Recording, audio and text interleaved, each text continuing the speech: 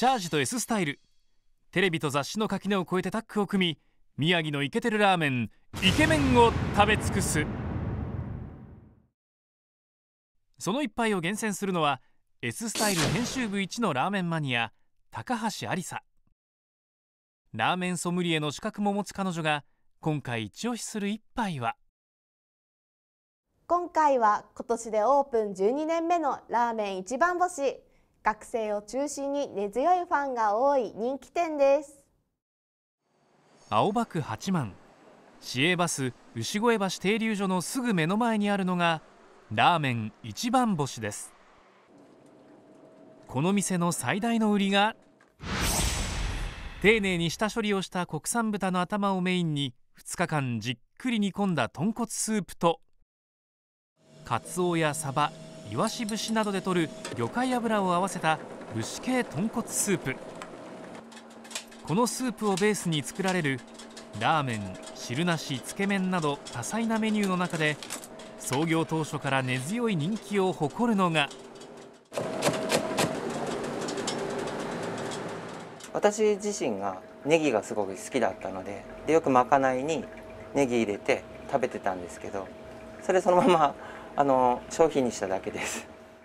イケメン店主が作るイケメンが丼一面緑一色。大量のネギが盛られたその名もネギダクラーメンです。お待たせしました。ネギダックラーメンです。えー、ごゆっくりどうぞ。はいありがとうございます。すごい。麺何にも見えない。なんかもうね芝生のようなネギがたっぷりと乗ってます。いやこんなラーメン初めて。このたっぷり盛られたネギをかき分けてみると。おえわあすごい。ネギをどけたらすんごい大きなチャーシューも出てきました。なんかこう宝探しみたいな気持ち。店自慢の武士系豚骨スープ。さてそのお味は？美味しい。うわすんごい濃厚な味わいですね。まろやかな豚骨の風味の中に魚介の味もガツンと効いてるんですよ。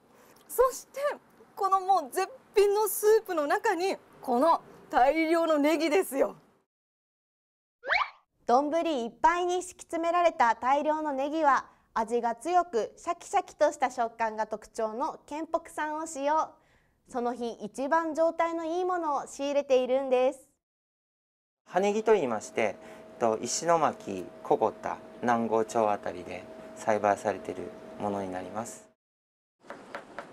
以前は京都の九条ネギを使用していましたが新型コロナにより契約していた業者が休業。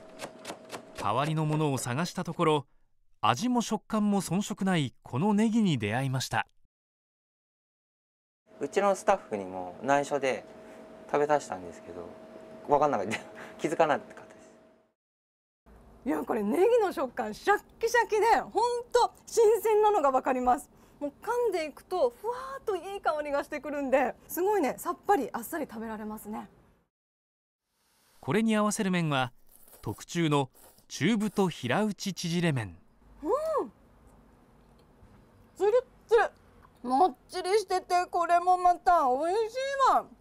このね麺を持ち上げた時にしっかりネギも持ち上げてくれるんですよねこのもちもちとシャキシャキ一緒に楽しめるっていうのもいいですね。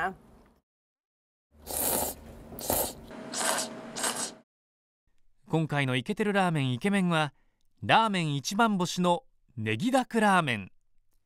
長年愛され続ける超個性的な一杯。ぜひお試しあれ。